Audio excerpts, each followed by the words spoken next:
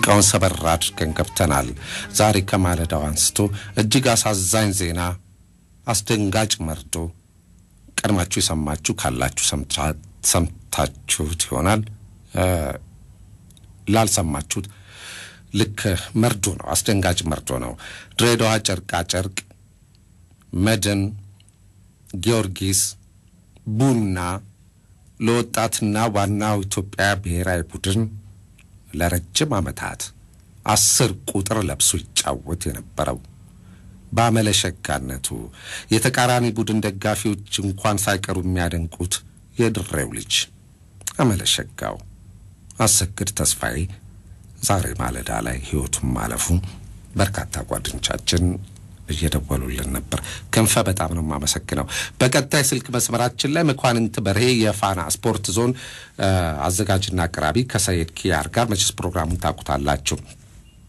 አሁን በቀጣይ ስልክ መስመራችን ላይ አግኝተነዋል። መኳንንት እንደምን ዋልክ? ደሬ እንደምን ውላችኋል? ሰላም ነው? ሰላም ነን፣ ሰላም ነን። ምንድን ነው የሆነው? መቼ ምንድን ነው የተፈጠረው?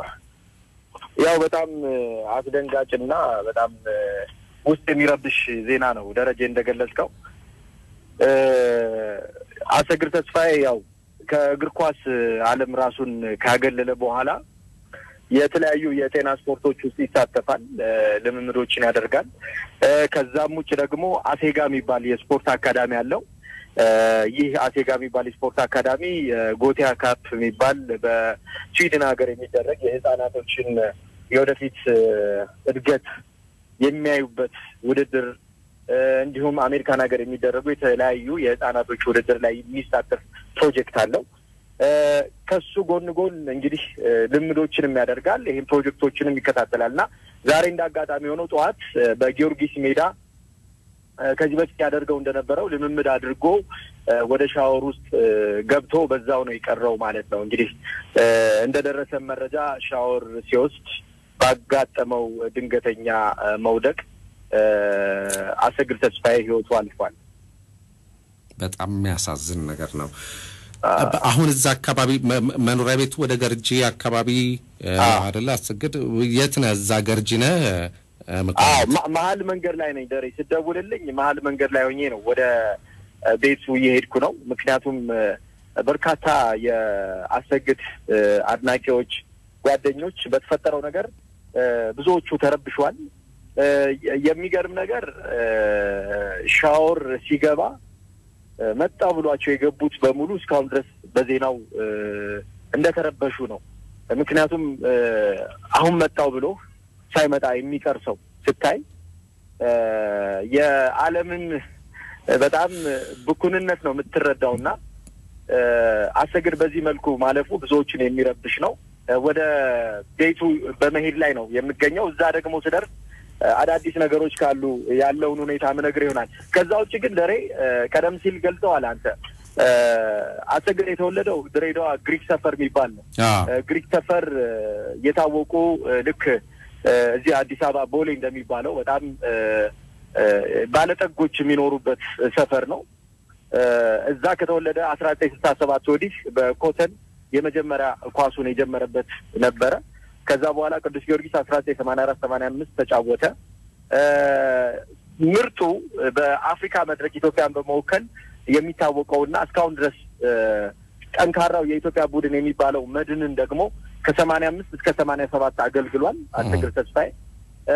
ከሰማንያ ስምንት እስከ ዘጠና ሁለት ላይ አሰግድ ተስፋዬ ስሙን የተከለበት በአስር ቁጥር ማለት በኢትዮጵያ ቡና የሚታወቅበት ነው።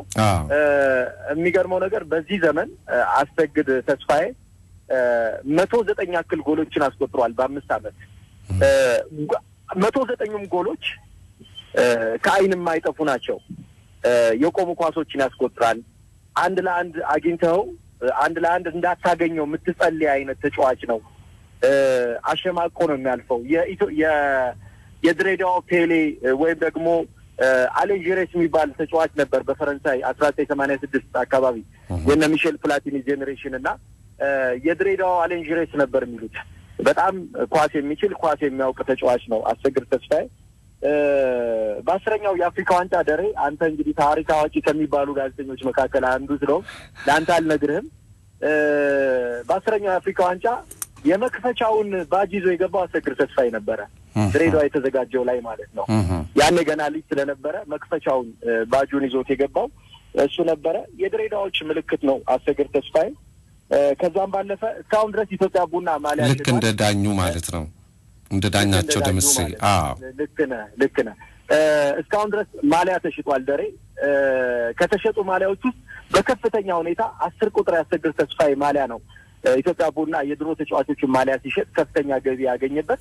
ከኢትዮጵያ ቡና ከወጣ በኋላ በካምፕ ስራ ውስጥ ኢትዮጵያ ቡና ካምፕ እንዲሰራ ድጋፍ ካደረጉ ተጫዋቾች እንዲሁም የተለያዩ ተጫዋቾች ዝውውር ላይ ተሳትፎ በማድረግ በቡና ቤት ውስጥ በከፍተኛ ሁኔታ የሚወደድ በተለይም አስራ ዘጠኝ ዘጠና ሁለት አህሊን ገጥሞ ሁለት ለሁለት በወጣው በኢትዮጵያ ቡና ቡድን ውስጥ ፎርቪች ያስቆጠራትን ጎል ብዙዎች የኢትዮጵያ ቡና ደጋፊዎች አይረሷትም እና ትልቅ ታሪክ ያለው በኢትዮጵያ እግር ኳስ ውስጥ የአንድ ክለብ ብቻ ሳይሆን የሁሉም የስፖርት ቤተሰብ ልብ ይዞ የኖረ ተጫዋች ነበር እና ሳናስበው እንግዲህ በዚህ መልኩ ዛሬ አጥተነዋል ማለት ነው። ደሬ ሰዓት ካለን ወደ መጨረሻ ላይ እንደገና እንደውላለን። መኳንንት በሬ እጅግ እጅግ አድርጌ አመሰግናለሁ። በጣም አዝነናል። ድርቅ ነው የሚያደርገው እንዲህ አይነት ነገር በህይወታችን ውስጥ ሁልጊዜ እንዲህ አይነት ነገር የገጠመን ሰዎች ብዙዎች አለን። ምን ያህል ክው እንደሚሉ ወላጆቹ፣ ቤተሰቦቹ፣ ጓደኞቹ፣ አድናቂዎቹ በጣም አዝነናል። ለቤተሰቦቹ ለአድናቂዎቹና ለመላው የስፖርት ቤተሰቦች እጅግ አድርገን መጽናናትን እንመኛለን። ልጃችን ወንድማችን አሰግድ ተስፋዬ ምን እንላለን? ነፍስ ይማር ከማለት በቀር የደራው ጨዋታ